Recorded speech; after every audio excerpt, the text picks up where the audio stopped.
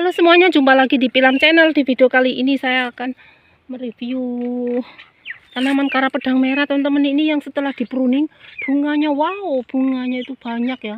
Bunganya keluar. Nah, kan karena kemarin itu ya daunnya itu terlalu li, terlalu rimbun jadi kita pruning ya teman-teman. Setelah pruning terus dia nutrisinya itu terfokus ke untuk bunga ya teman-teman dan buah ya. Ini buah kemarin ini udah mulai besar-besar itu besar ini cuma paling paling panjangnya sejengkal lebih gitu tuh karaknya ya. Tapi dia itu dalamnya itu nih itu dalamnya itu enak ya teman-teman. Nah ini mulai bermunculan tuh bunganya. Wah banyak yang rontok juga nih. Kenapa ya? Banyak yang rontok nih. Mulai bermunculan banyak teman-teman setelah di pruning nanti kalau udah itu yang sana subur lagi tuh itu mau kita pruning lagi ya teman-teman. Nah ini bunganya nih terus nyusul ada lagi ada ada ada lagi teman-teman nih mulai sela-sela nih masih kecil masih cungkup-cungkup ya tuh. Masih kuncup teman-teman. Belum mekar nih juga nih. Tuh. Nah seperti ini ya tuh. Nanti kalau sudah berbuah teman-teman kalau sudah berbuah besar kita review lagi ya. Nah seperti ini. Tuh banyak banget setelah dipruning pokoknya nanti kalau nggak panas lagi aduh ini teriknya luar biasa ya. Teriknya luar biasa. Kita lihat ke dalam apakah dia juga berbunga ya teman-teman. Oh iya. Ternyata tuh bunganya semakin lebat ya.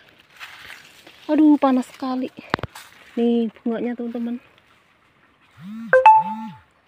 Habis di pruning bunganya tuh bermunculan ya. Di ruas-ruas ini juga nih. Tuh. Banyak teman-teman. Nah bagian sini daunnya tuh masih banyak banget. Karena kemarin tuh bagian tengah sini tuh uh, masih rimbun. Kayak ada um, di sini kan buat tidur ayam teman-teman kemarin tuh. Makanya ah, bau kohe ayam kita berhenti nanti kalau udah hujan-hujan terus dia udah lama nggak ke sini kan. Um, kita kita pruning lagi ya nih daunnya tuh udah mulai oh subur banget. Karena nih yang muncul tunas baru daunnya juga keluar teman. Ini ya hari ini saya nggak bawa gunting ya. Nih kan teman-teman. Kalau udah di dibuangin ininya nanti kita pupuk untuk buah ya teman-teman. Saya lagi tanya sama temen aku ya eh, yang kalau kayak di Indonesia tuh pakai gandasil B ya. Tadi gandasil untuk buah ya teman-teman jadi untuk untuk perangsang pot jadi yang disemprotkan itu supaya bunganya itu semakin lebat ya. Untuk perangsang bunga ya. Kalau di sini saya pakainya yang itu yang kayak kohek kelinci itu tuh yang kayak apa tuh e, kayaknya terbuat dari ayam gitu teman-teman. Dari kohek ayam teman-teman. Terus bentuknya tuh agak panjang-panjang. Panjang-panjang itu berapa senti itu ya kali? Eh, kira-kira nggak ada satu senti lah setengah sentian gitu teman-teman. Itu panjang-panjang kayak gitu ya. Kayak tong tapi panjang-panjang gitu ya teman-teman. Nah seperti itu buahnya. Nah itu buahnya itu buat sayur dan buat buah juga bisa di akar tapi ini buahnya juga udah mulai udah mulai uh, banyak teman-teman. Tadi saya pengen lebih banyak lagi supaya lebat karena ini kan pohonnya banyak ya teman tuh. Tuh besar tuh yang ada sembilan itu ya tuh. Satu dua 3, 4, 5, 6, 7, 8, 9 9 lanjarannya uyak-uyakan kayak begini. Nah ini eh, setelah di pruning itu bunganya itu bermunculan lebat sekali ya teman ini belum ini belum belum sekali lebatnya. Jadi lebat ya udah lebat. Tapi nanti lumayan lebat teman-teman. Nanti kalau di pruning lagi kemudian ada pupuk. Atau nanti saya mau tanya ke uh, yang penjualan pupuk ya teman-teman. Karena kemarin saya beli pupuk itu beli pupuk untuk sayur malah di, di ininya um, untuk buah ya. Jadi salah ya teman-teman. Mereka padahal udah tahu saya mau nanam sayur ya udah nggak apa-apa. Nanti siapa tahu ada yang mau ganti gitu. Kalau enggak ya kita cari. Nanti tanya-tanya yang uh, ada nggak pupuk yang disemprot kayak di Indonesia? Di sini susah banget. Kayak dulu urea itu teman-teman nggak nggak nemu ternyata nemu. Saya mau maksudnya mau beli urea itu pupuk urea ternyata malah belinya yang seperti itu oh, yang untuk kalsium untuk buah ya teman-teman supaya nggak rontok itu malah ya teman-teman. Tapi dalam jumlah besar dari dalam jumlah oh, berapa kilo tuh? 10 atau 20 kilo ya teman-teman. Jadi berat banget ya tuh bawahnya. Jadi aduh gimana? Udah dibuka kan nggak bisa diganti ya teman kalau udah dibuka. Nah kemudian ini nanti mau saya cari pupuk lagi tanya-tanya ke temen aku seperti apa gitu. Siapa tahu ada itu yang yang disemprotkan gitu teman-teman di Indonesia ada mungkin di Taiwan juga malah ada yang lebih karena dia negara lebih maju ya teman-teman nah ini uh, setelah di pruning itu udah nampak sekali tuh bunga-bunganya di sini. Ini masih kecil-kecil juga ya teman-teman nih uh, tangkainya tuh belum panjang tapi dia udah memben udah kelihatan nih ya. Masih kecil banget tuh udah nampak tuh. Nah ini juga ya tuh. Udah nampak ya teman-teman. Nah ini yang tunas-tunas muda juga mulai bermunculan. Wih panas sekali ya. Tuh yang atas sampai wow. Kita kalau jongkok di sini dingin banget ya teman-teman tuh bunganya banyak banget ya bermunculan ya. Ini bagian yang kena sinar matahari ini sini berbunga lebih duluan kemudian mekar lebih duluan terus ada buahnya baru satu tuh kelihatan kacangnya ya kacang karaknya. Uh panasnya kok minta ampun ya. Kacangnya ini sampai melilit temen-temen nih. Yang ini ini dua ini sembilan tapi sembilan sembilan tempat gitu ya sembilan. Ini malah ada dua tuh. Ini lu dua tapi dia sampai melilit seperti kelap di uh, apa itu? Uh, rambut dikepang ya teman dia tumbuh terus ke atas tuh.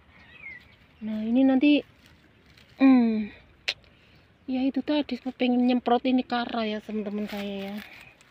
Atau nanti kalau sempet saya tanya ke uh, itu ya toko itu. Ke toko pupuk gitu teman-teman.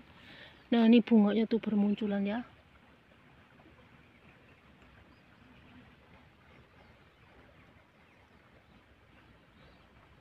banyak ya teman-teman. Itu setelah di pruning. Ini pruningnya sebagian sini tuh nggak kelar saya kemarin. Soalnya banyak banget daunnya tuh terlalu tebal nih. Ini sampai melilit ke sana kemari batangnya. Karena kemarin itu oh, lancarannya tuh kecil tuh udah ke sana lagi tuh. Udah saya bikin itu masih kosong. Nanti sana juga bisa penuh ya teman-teman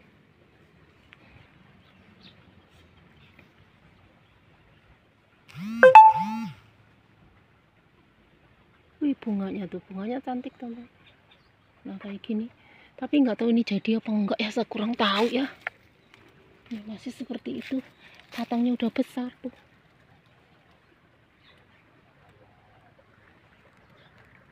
Nah, mulai batang-batangnya tuh. Oh, yang masih kuncup-kuncup masih kecil-kecil batangnya belum panjang itu masih masih banyak ya teman nanti bermunculan ya terus menyusul. Nah ini kara dua pedang aja dia mungkin ada berapa on ya teman-teman. Karena dia itu dalamnya tuh gede gitu teman-teman. Nanti kita lihat kalau udah panen ya seperti bakar pedang kalau saya sudah tahu teman-teman mungkin penasaran. Dulu yang ada di video saya pokoknya udah ada di video saya ya. Karatnya seperti itu.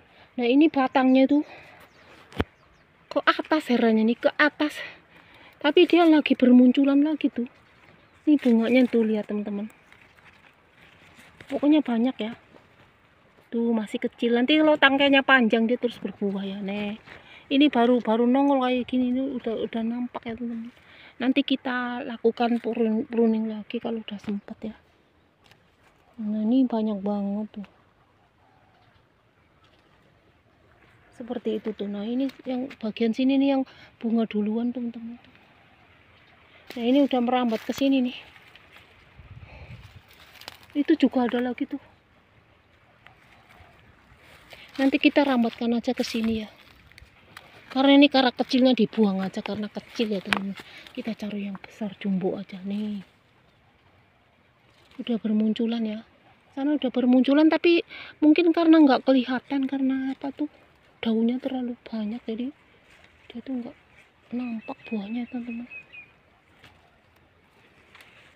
tuh malah naik ke atas ya ke pohon nanti kita turunkan aja lagi. Keteter itu teman. Kadang nggak ada waktu? Ini lanjarannya kemarin juga nggak bisa kena itu angin topan karena ini kenceng banget nih sebagai lanjarannya. Kecil tapi kuat teman-teman karena nggak dibelah. Kalau dibelah itu ngejamur terus uh, rapuh ya. Ini bagus banget nih bermunculan lagi nih sebelah sini tuh mulai berbunga ya teman-teman. Luar biasa cantik. Mudah-mudahan nanti berbunga lebat. Eranya dia bunganya itu di, ah, di batang bawah seperti ini ya yang paling lebat. Mulai terus ke atas nanti asal ada cabangnya mungkin bisa berbunga teman-teman. Iya kita lihat aja ya. Batangnya besar-besar nih mulai besar-besar